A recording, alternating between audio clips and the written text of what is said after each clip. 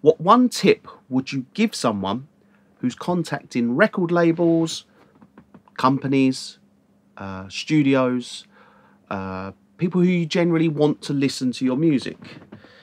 And the reason I'm, uh, I'm I'm kind of answering this question now is because I've literally just received a message on Facebook. Now, this message on Facebook, and this is this is the answer. Is is this is just one tip? This is one of many tips, to be honest. So this one tip is do not copy paste emails, messages, send them to various different people. Right? I received an email the other day which said.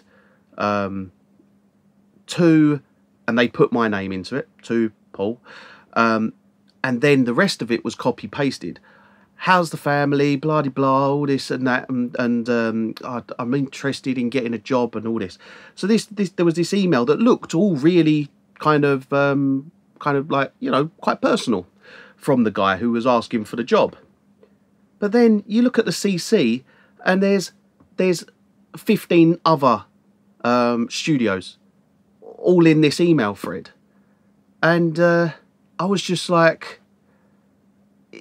you know what I mean? As, from a business perspective and from someone who's like, you ain't to hire him. That wasn't a person. That was that was kind of that weren't a, a personal message. That wasn't oh, hi Paul, how's it going? Oh, how's the family? Blah blah. blah, Asking me questions, and it's sent to me, and being very specific to me. Um, had it been, I would have re- read it and and been like, okay, yeah, I'll I'll reply to that, and all right, there's no jobs available, but I can I can create conversation with. Instead, I thought to myself, nah, you ain't even given me the time of day. You haven't given me any time here to write me anything personal. I'm not giving you my time back. So that's one thing, and I I've got a message there um, on Facebook, and I can, I can see it there, and it, it kind of highlighted this this question and answer, um, because the the the first thing it says is, "Hi guys, check my new track out." Blah blah blah blah. A load of load of information, um, and I just thought, nah, I, I am well, I'm not gonna I'm not gonna click on that. Why should I? give you my time when you can't even be bothered to give me yours you're the one wanting something from me. If you want me to listen to your track and check it out, by all means, I will do that. I love listening to people's music. But what I'll what I'll do is if you contact me and say, Paul, have a listen to my new track um, when you get get a chance. Uh, really appreciate any feedback and whatnot. Um, hope you're all well. Start start some even just start some sort of dialogue before. All right, Paul, how's it going? Long time no speak.